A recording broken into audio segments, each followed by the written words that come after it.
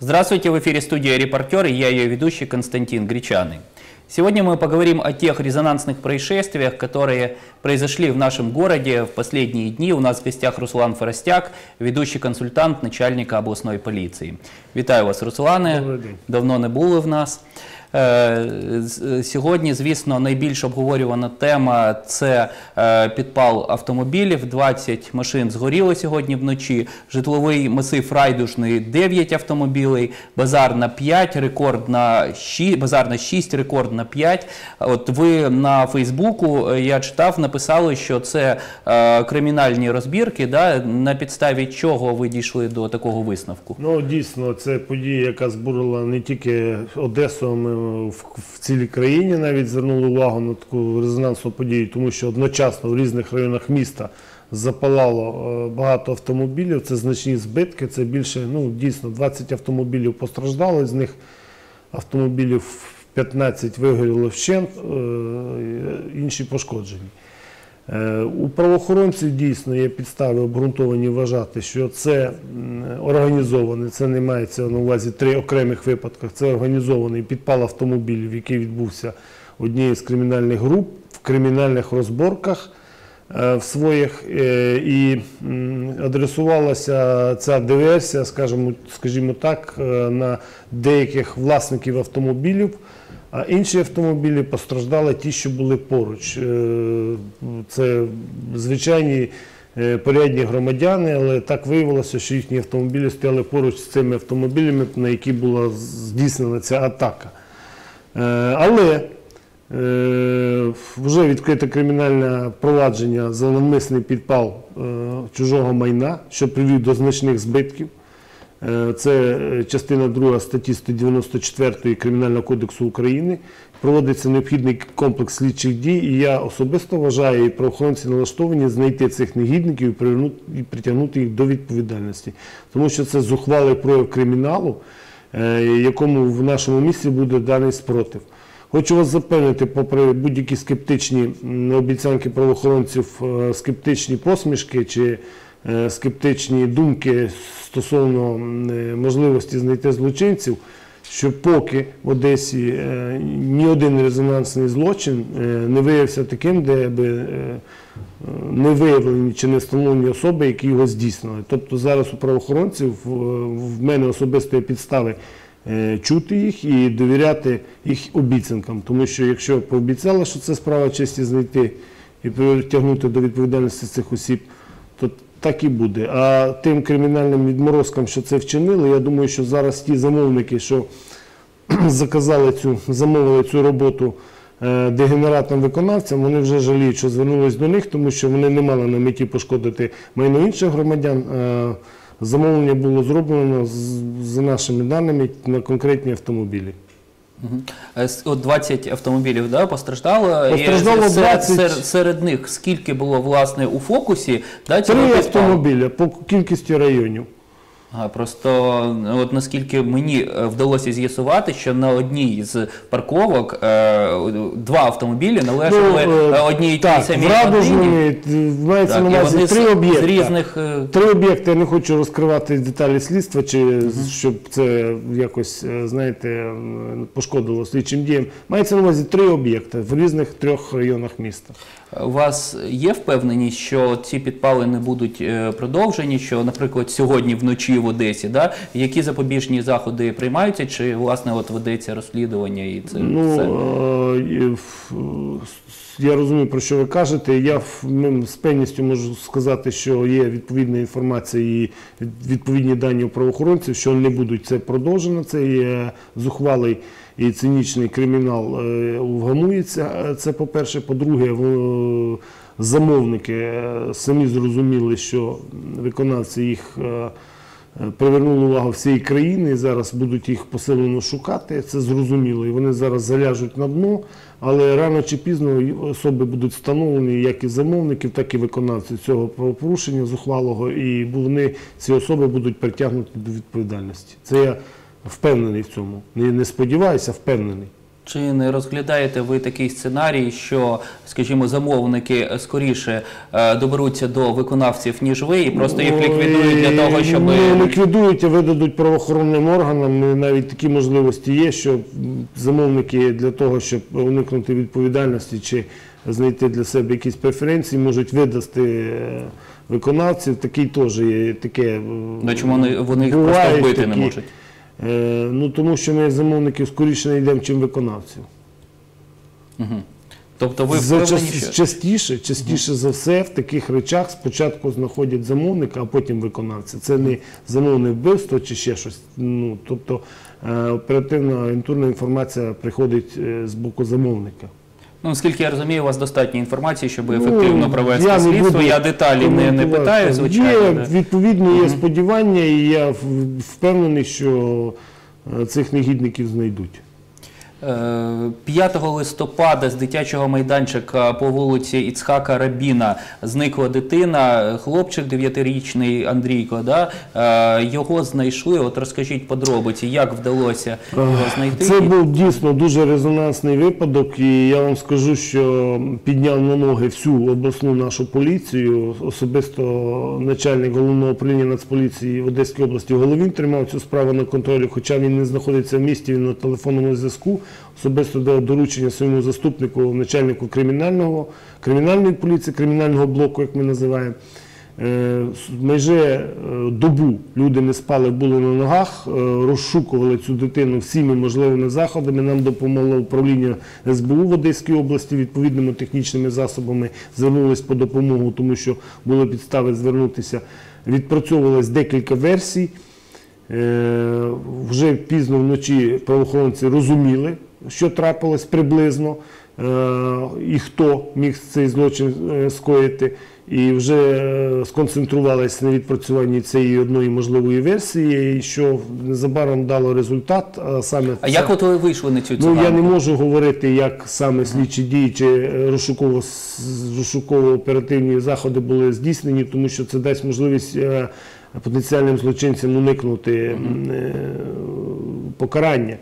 Е, Я не можу ці деталі розголошувати, це є таємниця, е, службова інформація, але Ну, робота з населенням, якщо узагальнено сказати. це всі можливі, весь необхідний комплекс слідчих дій, який в таких випадках задіюється. Це ну, досить він великий. Від Я того, що як по-дідівськи обходять квартали, питають, чи не бачили, чи не бачили, піднімаються камери.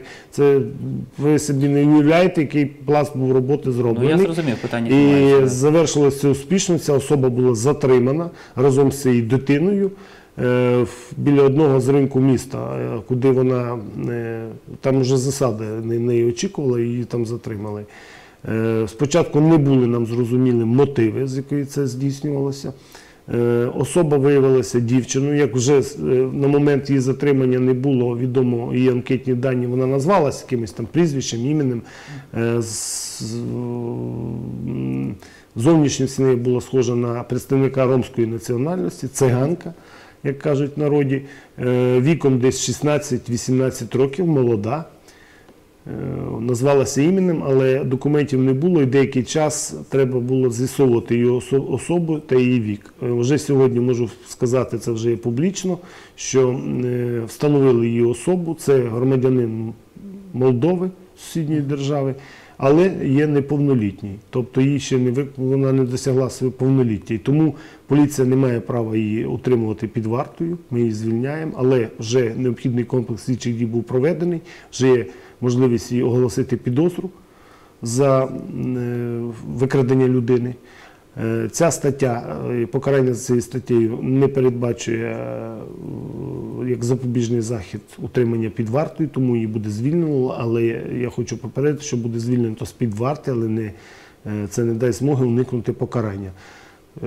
Що стосується Тобто ви контролюєте її місце знаходження. Звичайно. А Що стосується подальших дій, далі вже поліція свою роботу виконала, всі необхідні докази зібрані, особа встановлена, е, все зрозуміло. Справу далі розглядає е, е, сторона обвинувачення та суд. який буде власне оголошувати її вирок за скоєне правопорушення. Ви можете озвучити все-таки е, от е, ті е, покази, яка, які Вона, давали, е, е, я, вона вкрала? Я, я поясню, щоб не було. Я це роблю не для того, щоб там щось е, цікаве розказати, а для того, щоб заспокоїти суспільство. І хочу звернути увагу, що тут навіть не, не статистика говорить, що ці викрадачі на 90% викрадають не люди, які мають психологічну якусь проблему. Тобто психічний стан викликає питання, коли викрадають дітей. Дітей просто так викрасти дуже тяжко. Діти можуть голосувати, е, привертають до себе увагу, тікають. Зараз такий час, що е, і тому вона е, вдалась до того, що раніше вона не була знайома ні з, родиною, ні з особисто дитиною. Вона вдалась до ем, оману. Почала його вговорювати, що ніби вона знайома мами, що треба десь піти, щось кудись йому відвести, кудись поїхати. Е, Раптово почала дитину маніпулювати нею. І дитина погодилась, взяла за руку і пішла з нею. Тим більше, що вона молода е, і не викликала своїм е, зовнішнім видом небезпеки у дитини. Якась там бабуся страшна, чи якась жінка незрозуміла, не з неадекватною поведінкою.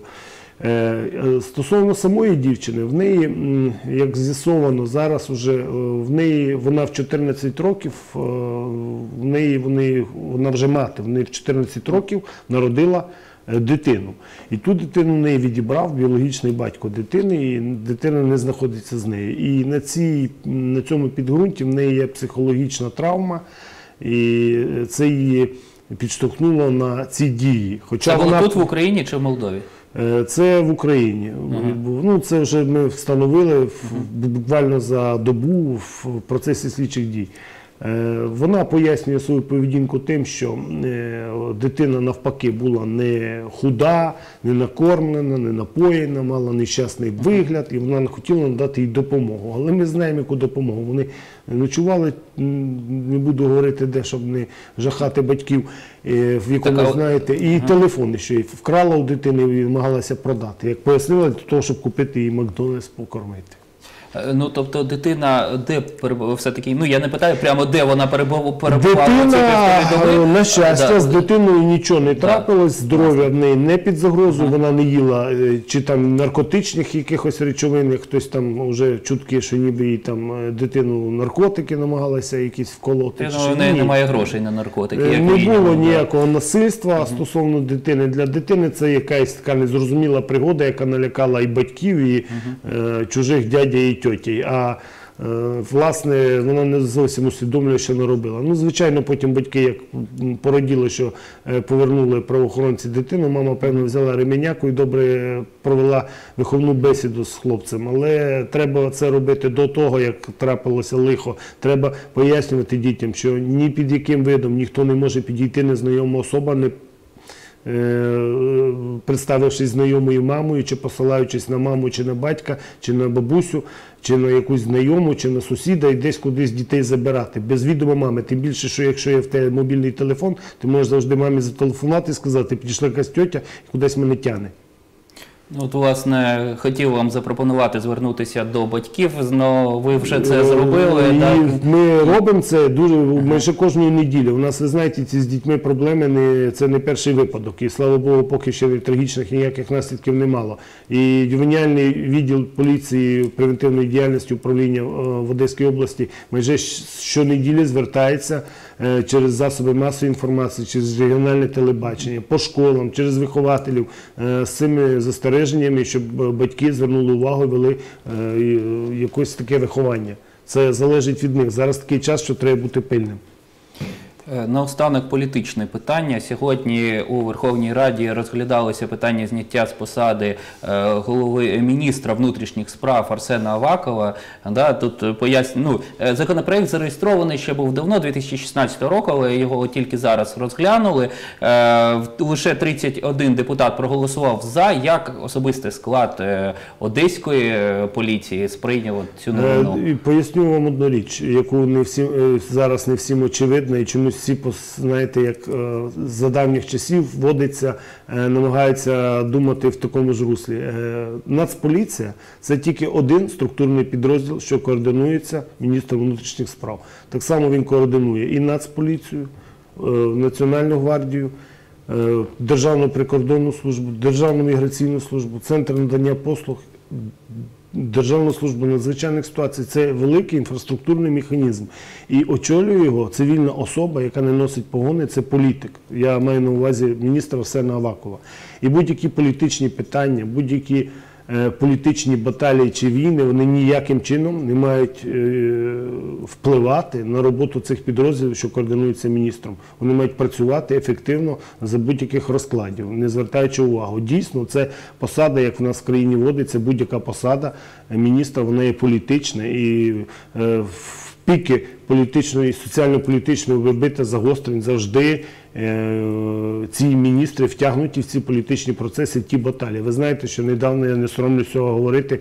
е, Сина Авакова затримувало набу в е, підозрах, ніби про корупційні дії, пов'язані з постачанням.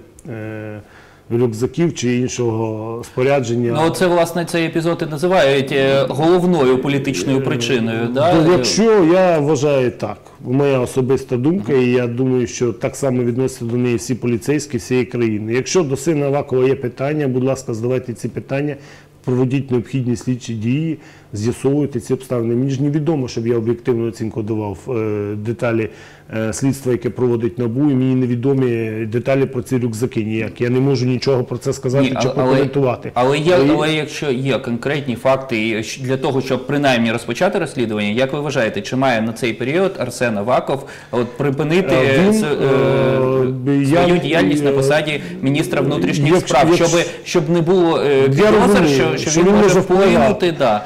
Дивіться, Тому що от були розмови, коли тільки взяли е, під варту сина Авакова, що е, там ніби два від е, депутата Лещенка, що два автобуси Нацгвардії приїхали під набу. Щоб от таких е, не було розмов, е, чи можливо варто піти на певний час Особиста моя думка така, незважаючи на те, що я, ви знаєте, можете сказати, що я зараз е, намагаюся вигороджувати міністра внутрішніх справ, бо сам є ніби як в структурі поліції національної. Я скажу так, е, що е, навколо цього питання є певні спекуляції, які мені очевидні. Якщо ми визнаємо, що міністр є суб'єктом політичної боротьби, боротьби чи він, то тоді треба надати йому змогу цю війну вести. Це перше. Друге, е, в мене є обґрунтовані підстави вважати, що є деяка дезінформація, яка стосується впливу чи те, що були задіяні спецпідрозділи поліції і могли перешкоджати своїми діями. е, Тим заходом, що проводили НАБУ. У мене є обґрунтовані е, підстави вважати, що це неправда та фейк. Тобто це намагаються, е, намагаються через це здійснити тиск. А я із тих людей, що якщо хтось здійснює тиск неправомірно, чи намагається спекулювати, чи дезінформувати суспільство, чи мене особисто, тут е, він наштовхується на мій особистий спротив. Тобто я вже це не сприймаю, відверто не сприймаю це і не вітаю, так би якби я це робив, якби це було чесно, прозоро та відкрито. Але в Авакова є такі можливості? Є. Об'єктивно, вони, вони є зараз впливати на свій Е, Якщо от, власне, міністр- от, власне, через це, можливо, Якщо варто, міністр- варто на час покинути, на час розслідування свою А посаду, тоді, припинити тоді спрацює технологія. А я така людина, що вам пояснюю, що гірше буде, якщо спрацює технологія, чим е, те, щоб ми всі впевнилися. Наприклад, е, в нього є можливості втрутитися чи вплинути, як ви кажете, а він ці можливості чи втрутитися е, момент цей не застосував чи не використав. Тоді в нас виникне довіра до міністра і його авторитет зросте. Якщо він втрутиться, тоді він втратить свій авторитет довіру назавжди. Ну, потім буде ще варто встановити те, що він Ні, втрутився це стане очевидно. Для журналістів наш час, для нас, для всіх це стане очевидно. Це момент спекуляції. І завжди, коли вони є, вони завжди знайдуть спротив і в суспільстві, особисто в мене, і в складі національної поліції, яка буде з незрозумінням ставитися, якщо буде дезінформація, дискредитація чи е, намагання якогось е, маніпулювання цим питанням. Добре, я зрозумів вашу позицію. Дякую, що ви до нас прийшли за змістовну розмову. Дякую. Дякую, що запрошуєте. На все добре. Я напомню, что у нас в гостях был Руслан Форостяк, ведущий консультант начальника областной полиции. Мы говорили о резонансных происшествиях, которые произошли в Одессе в последнее время, и немного, совсем немного о политике. Студию провел Константин Гречаны. Оставайтесь на репортере.